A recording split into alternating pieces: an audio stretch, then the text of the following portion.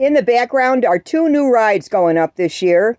And with all the construction and trucks, we get a lot of dirt and mud.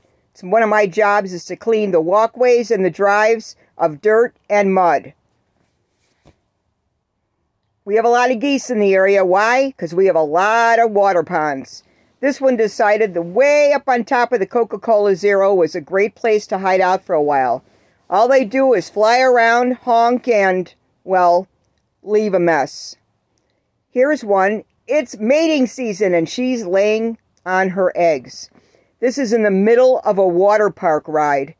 And people aren't going to be going on this area, but they're going to be around it. So hopefully the eggs will hatch before that. Check the Adventureland website in Altoona, Iowa.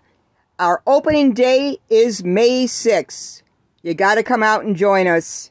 Check out our new rides.